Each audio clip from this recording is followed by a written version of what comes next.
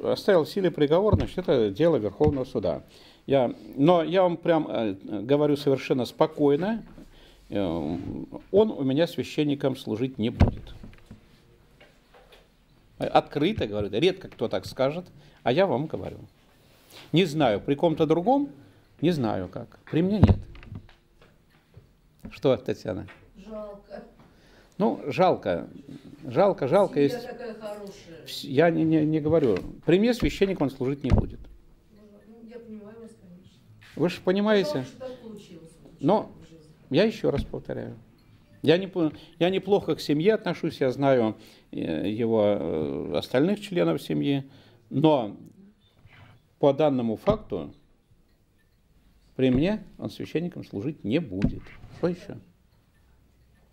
Четко вам ответил? Да, Может быть, пройдет время, может быть, пройдет время, когда он тоже поймет, что вот это была большая беда, и надо что-то делать, внутренне пересмотреть. Все в своей жизни, да, и понести, в общем-то, э, кроме того, внутреннее покаяние перед Богом.